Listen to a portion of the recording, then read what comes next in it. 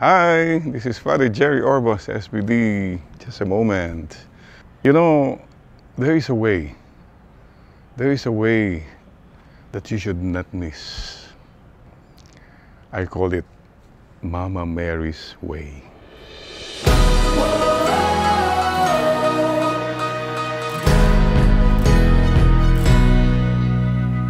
We're a work in progress.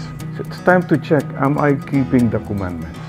Continue to hold on on the provisions of God, the providence of God. Goodness does not end in just being good, but being truly good and really good.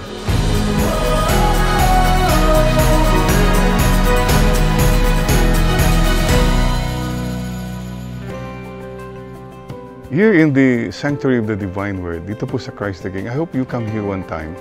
Mama Mary's Garden and all that. But there is a little corner here, hardly seen. In fact, it's hidden. Yan po yung Mama Mary's way. Because if you follow the virtues of Mama Mary,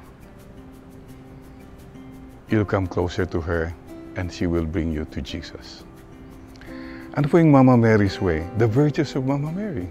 Oh, the first one is obedience. Follow that. Uh, hiddenness. Hindi naman kailangan magpabongga palagi. Pasikat, no? Humility. Mama Mary's way yan. Joy. Trust in the Lord. Generosity. Kindness. Christ-centeredness.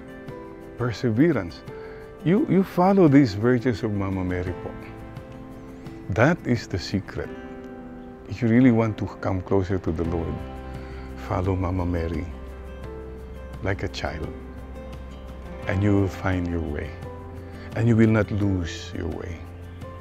Mga kapatid, choose the road you travel.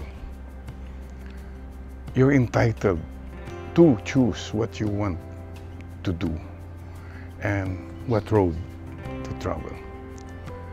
It's time for you to say, no, I'll take the road of humility na. No, I'll take the road of hiddenness na lang. And you'll find so much joy. Kasi alam mo, you are making a decision, a decision with the heart. Stay close to Mama Mary.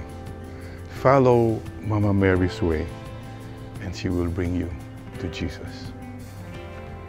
See you along the way. See you there. We all follow Mama Mary's way. God bless you, and Mama Mary loves you.